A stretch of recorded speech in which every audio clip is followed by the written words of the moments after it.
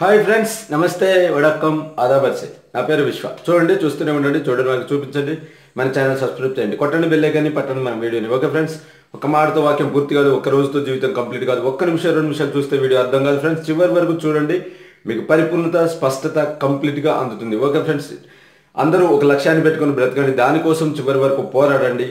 అది సాధించారా? అప్పుడే తను చాలించండి. అప్పటి వరకు నిద్రించకండి ఫ్రెండ్స్ ఇది ప్రతి ఒక్కరూ పెట్టుకోండి గుర్తు పెట్టుకోండి ఓకే ఈరోజు మన టాపిక్ లాక్డౌన్ గురించి మాట్లాడుకుందాం. మళ్ళీ లాక్డౌన్ అంటున్నారు. ఏంటండి లాక్డౌన్?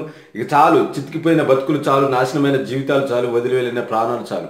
అవునండి ఎంతమంది చితికిపోయారు ఎంతమంది నాశనం ఎంత దారుణమైన స్థితి. ప్రపంచం ఎన్నడూ లేని విధంగా ఒకప్పుడు రెండో ప్రపంచం యుద్ధం వచ్చినప్పుడు కూడా ఇంత నాశనం అయి ఉండదండి. ఈ రోజు అంత నాశనం జరిగింది. కారణము ఏంటి అంటే కరోనా అంటున్నారు. మరి ఆ కరోనా అంత పెద్ద సమస్య ఏం కాదండి. దీన్ని మన వాళ్ళే కావాలని దాన్ని ఎక్కువ చేస్తున్నారు. అసలు లాక్డౌన్ వల్ల లాక్డౌన్ వల్ల ఎవరికి ఉపయోగం అండి?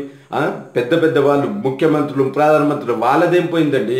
వాళ్ళు ప్రశాంతంగా ఏసీ రూమ్లో హాయిగా అన్ని సమకూర్చుకొని జీవిస్తుంటారు. కానీ గుడిసెల్లో ఉండే పేదవాడి పరిస్థితి ఏంటి? ఒక్కరోజు పని దొరక్కపోతేనే అల్లాడే జీవితాలు ఎన్నో ఉన్నాయి. మరి అటువంటి వాడికి లాక్డౌన్ అనే పరిస్థితి వస్తే జీవితం ఏమవుతుంది? తనువు చాలించడం తప్ప ఏమీ చేయలేని నిస్సాయులండి కడుపు చేత పట్టుకొని వలస వెళ్ళిన జీవితాలు ఎన్నో. హైదరాబాద్కు బతుకు తెరువు కోసం వచ్చిన వాళ్ళు తిరిగి వెళ్ళిన జీవితాలు ఎన్నో. వాళ్ళు ఎక్కడెక్కడ చనిపోతున్నారు ఎక్కడెక్కడ ఏమవుతున్నారు ఏంటండి ఈ లాక్డౌన్ వల్ల? ఎందుకు పెడుతున్నారు లాక్డౌన్ అసలు ఈ లాక్డౌన్ కరోనా అంటున్నారు కానీ ఈ కరోనా అనేది ఒక సమస్య. దీనివల్ల పెద్దవాళ్ళు ఆ దోచుకునేది చాలా ఉందండి. కరోనా కూడా పెద్ద సమస్య ఏం కాదు చాలా చిన్న ప్రాబ్లం. ఎందుకంటే అది దగ్గుతోటి పాటు ఊపిరితిత్తులు కూడా ఆగం చేస్తుంది అంటారు. మరి దీనికి ముందు చాలా జబ్బులు ఉన్నాయి కదండి టీబీ అనేది ఇంతకంటే పెద్ద జబ్బు కదా. దాన్ని మనం జయించినప్పుడు ఈ కరోనా ఎందుకు జయించలేకపోతున్నామంటే మొదటి కారణం మనమేనండి. ఈ కరోనా ఇదే ఎవడో వదిలిన అస్త్రం కాదు ఇదే విషం కాదు ఇది మనల్ని ఏమీ చేయలేదు. కానీ మన జీవితాన్ని మనమే నాశనం చేసుకుంటున్నాం. కరోనా వచ్చింది అంటే వేరే ఏదైనా జబ్బులుంటే తొందరగా చనిపోతున్నారు. ఏ జబ్బు లేని వాడు ఏదో కొద్ది రోజుల్లో కోలుకుంటున్నాడు. ఇదెవరికైనా పాకిందంటే వాళ్ళు తెలియని వాళ్ళు అయితే చనిపోతున్నారు. ఇలా దీన్ని బట్టి బాగా ప్రచారం జరుగుతుంది. కానీ అసలు ముఖ్య కారణం మనమేనండి. ఏ జబ్బైనా మనకి అంటుకోవాలన్నా మనల్ని బాధించాలని వేధించాలన్నా ముందు మన శరీరం అనేది దానికి అనుకూలంగా ఉండాలి.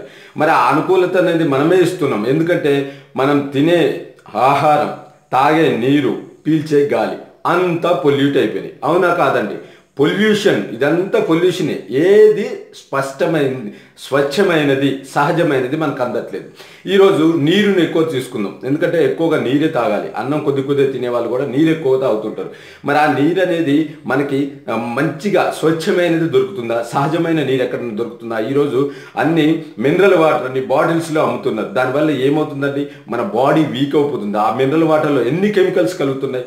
ఇక మనం తినే ఆహారం మనం మంచి ఆహారం తింటున్నామా? మటన్ చికెన్లని బర్గర్లని పిజ్జాలని చలివిడిగా ఏది పడుతుంది? ఇక అది లాగిన్ చేస్తున్నాం. దానివల్ల ఏమవుతుంది? మన ఒంట్లో కావాల్సిన దానికంటే ఎక్కువగానే ఫ్యాట్ ఫ్యాట్ తయారవుతుంది. దానివల్ల ఏమవుతుంది? అదొక రోగానికి అదొక మూల కారణం అవుతుంది అలాగే మనం ఇంకా తినే ఆహారం తాగే నీరు పీల్చే గాలి. పీల్చే గాలి చూసారా?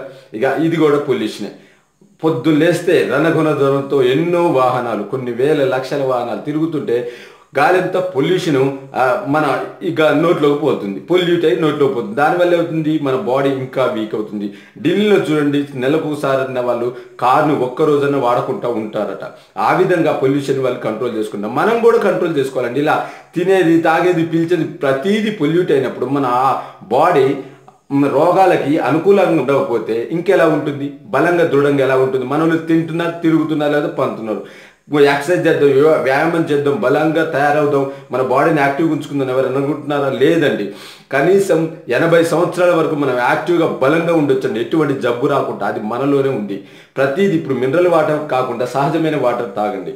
తినే ఆహారం కూడా ఏది పడితే అది తినకుండా వేడి చేసుకొని మంచి ఆహారం తినండి.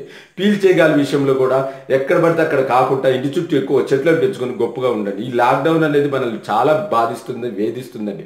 అలాగే ఈ కరోనా అనేది కూడా చాలా వెంటాడుతుంది. ఇదేం పెద్ద జబ్బు కాదండి. ఎప్పుడు పరిశుభ్రతకు పాటించండి. జ్వరం గిట్ట దగ్గు గిట్ట ఏమైనా వచ్చిందంటే ఒక పారాసిటమాల్ టాబ్లెట్ వేసుకోండి. రెండు సార్లు రోజుకి లేకపోతే మూడు సార్లు వేసుకోండి.